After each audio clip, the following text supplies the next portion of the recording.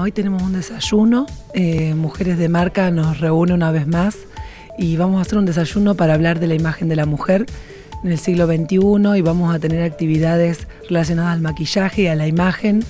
Eh, vamos a hablar de cómo se presenta la mujer hoy que lidera proyectos, que está delante de, sus propias ideas, que está como cabeza y empoderada, una mujer que ya no está atrás eh, esperando un lugar eh, así que bueno, va a ser una mañana muy interesante.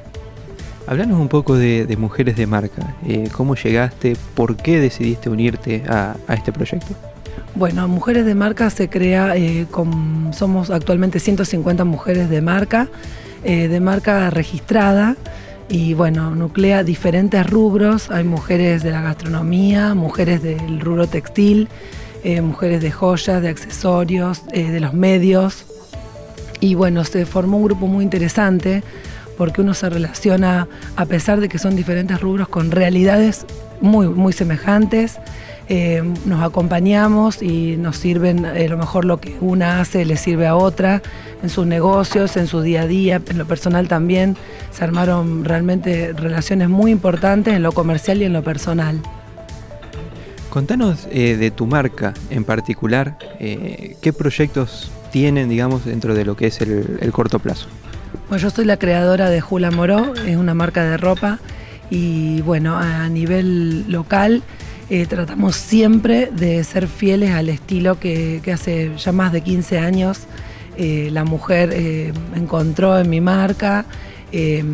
Ahora actualmente para esta colección estamos incorporando nuevas técnicas porque como ya no somos un nuevo emprendimiento ni una nueva marca, tratamos de que la propuesta siempre vaya variando y que siga captando a la clienta y la siga sorprendiendo. ¿Cómo, cómo es ese proceso de, emprender? ¿no? Acá en, Argentina, hace 15 años que están con la marca, eh, me imagino que no, no debe ser nada fácil ante una coyuntura que cambia todo el tiempo. Sí, yo te diría que cuando vienen años como este, uno dice, bueno, este año va a haber que remarla y si uno mira para atrás, hay que remarla cada rato, hubo que remarla cada periodo de 3, 4 años. Nosotros empezamos este proyecto, si bien no formalmente, pero en el año 2001. Imagínate, 2001, 2004, lo que fue 2008.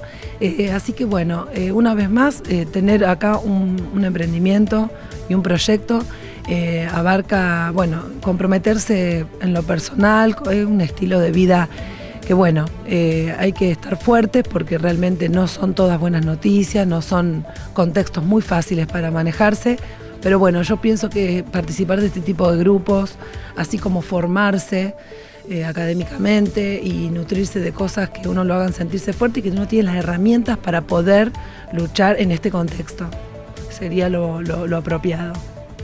Muchísimas gracias. Bueno, gracias a ustedes.